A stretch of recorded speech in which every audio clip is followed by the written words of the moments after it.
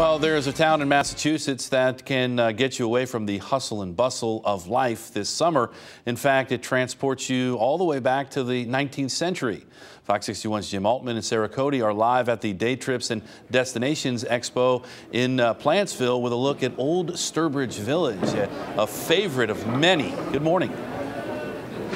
Good morning, Sean. It's a favorite of mine. I've day tripped there before. My son is heading there on his fifth grade uh, field trip very awesome. soon. And we're here with Michael Arnhem from the village to talk about what's coming up, Mother's Day. That's right. Next weekend is Mother's Day. It's free admission for all moms on Sunday. And they're also eligible to enter a drawing for a beautifully handcrafted coffee pot that was made at the village. Nice. So all mothers head to head to Old Sturbridge Village next Sunday.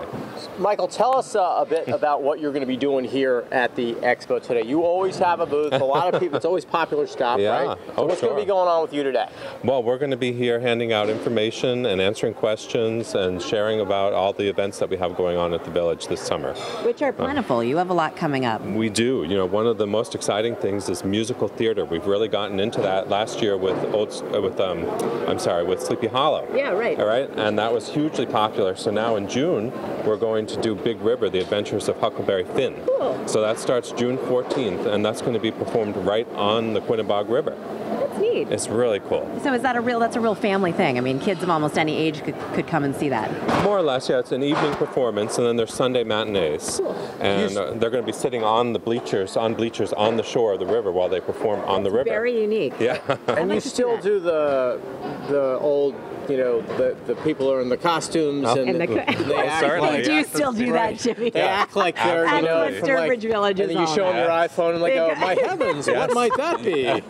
right? Cooking the pot yes, over the right. fire. They still do all that. Can I take a picture with you with my iPhone? Yeah. Uh, and, and heavens, fact, what was this?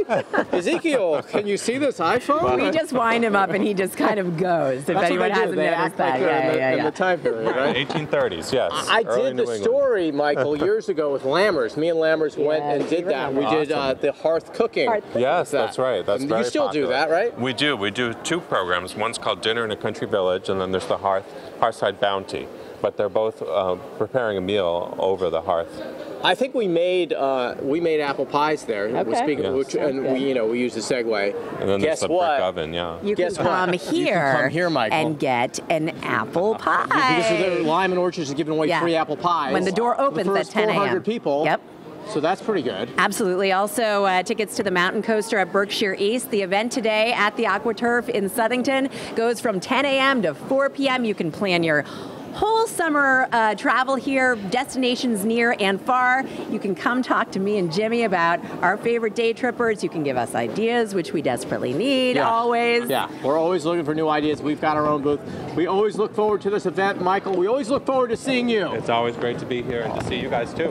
All right. so we will be here all, all day. day. Yeah, come say Get hi, Sean Pagano. You too. Free yeah. tickets, daytripsanddestinations.com. Promo code, code Fox61. Makes sense.